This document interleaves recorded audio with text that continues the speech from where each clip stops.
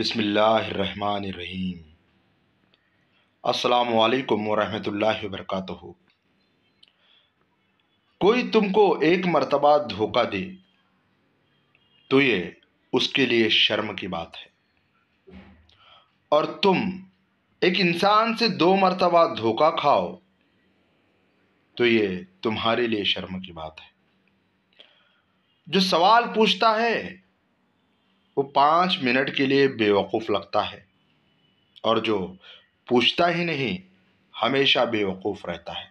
अक्लमंद आदमी अपना रास्ता खुद बनाता है और बेवकूफ़ वही करता है जो सारी दुनिया करती है। अगर तुम गुस्से के वक्त एक लम्हे के लिए सब्र कर जाओ तो तुम उस दिन की परेशानी से बच सकते हो। दूसरों की गलतियाँ और कोताहियाँ। भरी महफिल में बयान करना, कम ज़र्फ़ और एहसास से कम तरीके, शिकार लोगों का काम होता है। समझदार लोग बहस नहीं करते, क्योंकि वो जानते हैं कि सिवाय आपस में रंज पैदा होने के, इससे मुफीद नतीजा बरामद नहीं हुआ करता। कामयाबी चाहते हो तो मौका देने वाले को कभी धोखा न दो, और धोखा देने वाले को कभी मौका ना दो। आजमाइश और दिल का रिश्ता बड़ा गहरा है। आजमाइश जितनी सख्त होगी, दिल उतना नरम हो जाएगा। अच्छाई की तलाश में पूरी दुनिया घूम ले। अगर वो अपने आप में मौजूद नहीं तो कहीं भी नहीं। जिन्हें ख्वाब देखना अच्छा लगता है, उन्हें रात छोटी लगती है। और जिन्हें ख्वाब पूरा करना अच्छा लगता है, उन्हें दिन छोटा लगता है। बचपन में सबसे ज़्यादा पूछा गया सवाल, बड़े होकर क्या करना चाहते हो? आज जाकर उस सवाल का जवाब मिला, फिर से बचपन जीना चाहता हूँ। नेकी कमाने का बेहतरीन वक्त जवानी है, मगर अफसोस, हम नेकी तब करते हैं, जब बुराई करने के काबिल नहीं रहते। जिसकी सोहबत में तुम मुस्कुराने लगो, वो तुम्हारा दोस्त है। जिसकी सोहबत में शिकवे शिकायतें मिले, वो तुम्हारा दोस्त नहीं हो सकता। चुप से बड़ी कोई बदुआ नहीं होती। जब बंदा बोलता है तो कुदरत खामोश हो जाती है।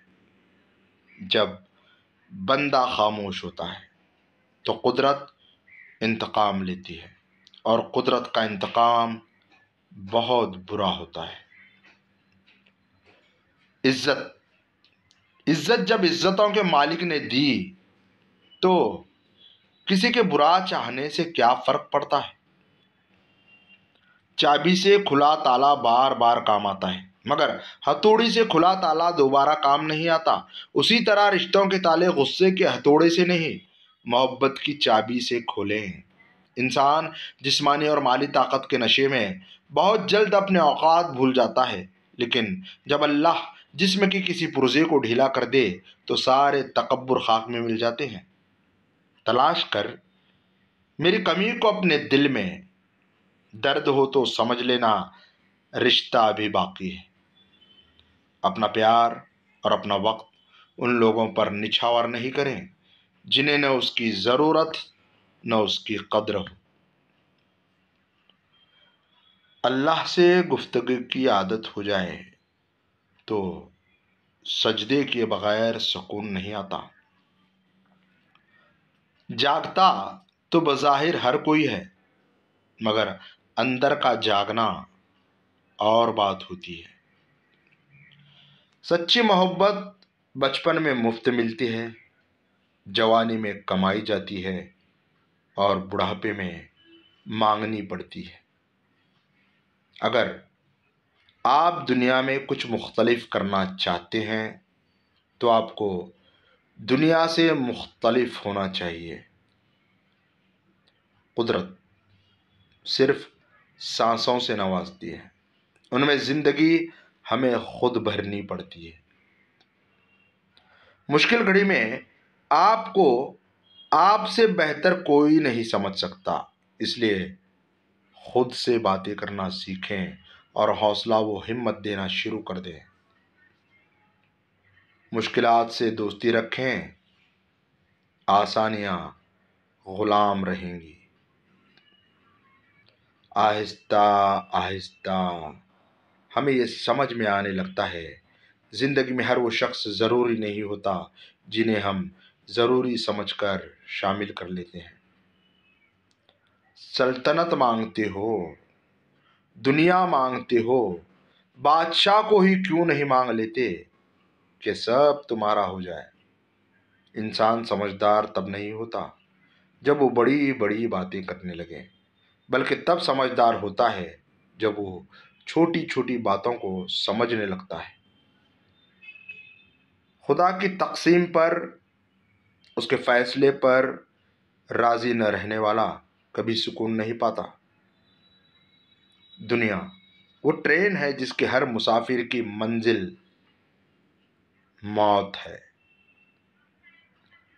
कुछ लोगों ने हमसे नफरत के लिए खुद ही जवास पैदा किए हुए हैं। हज़ार मुनाफिक मिलकर आपकी जड़ें भी काट दें। और अगर कोई एक अच्छा ख़ानदानी और मुखलिस दोस्त आपको सहारा दे तो यकीन माने, आप कभी गिर नहीं सकते। सबसे जलील तरीन इंसान वो है, जिसे हक और सच का पता हो और वो फिर भी झूठ के साथ खड़ा हो। जख्म खाकर भी मुस्कुराना और न खुश होते हुए भी खुश रहना दरअसल यही हमारी असल ताकत होती है। उस शख्स को कोई नहीं बदल सकता, जिस शख्स को अपने अंदर कोई गलती नज़र नहीं आती हो। इंसान अपनी गलतियों का वकील और दूसरों की गलतियों का जज बन जाए तो फिर फैसले नहीं होते, फासले होते हैं। अपने ज़ात से प्यार करने वाला आदमी कभी दूसरों से प्यार नहीं कर सकता। प्यार करेगा तो भी अपनी ज़रूरत के लिए मतलब पूरा होती छोड़ जाएगा। चाहे दूसरा कितना ही वफादार क्यों न हो। अगर तुम्हारे रिस्क में से दूसरों की ज़रूरियात पूरी हो रही हैं तो तुम खुशकिस्मत हो कि तुम्हारा रब तुम्हारा रिस्क पाक कर रहा है। किसी को इतनी इज़्ज़त भी न दो कि वो आपकी बेइज्जती करना अपना हक समझ ले। बुराई की तरफ़ नफ्स दौड़ कर जाता है। और नेकी की तरफ़ उसे घसीट कर लाना पड़ता है। हम नफ़रतों के इतने आदि हो चुके हैं कि मोहब्बत करने वालों को भी शक की निगाह से देखते हैं।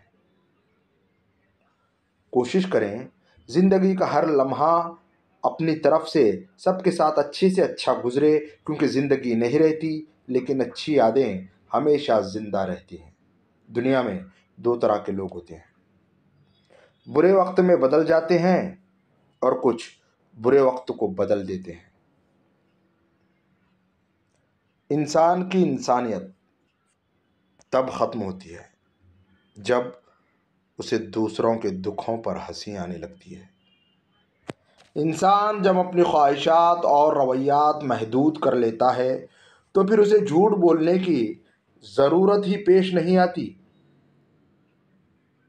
जब आप गलत चीज़ों का पीछा करना छोड़ देते हैं तो सही चीज़ें आपकी गिरफ्त में आती हैं। ज़िंदगी में मुश्किलात और परेशानियाँ आपको बर्बाद करने के लिए नहीं आती।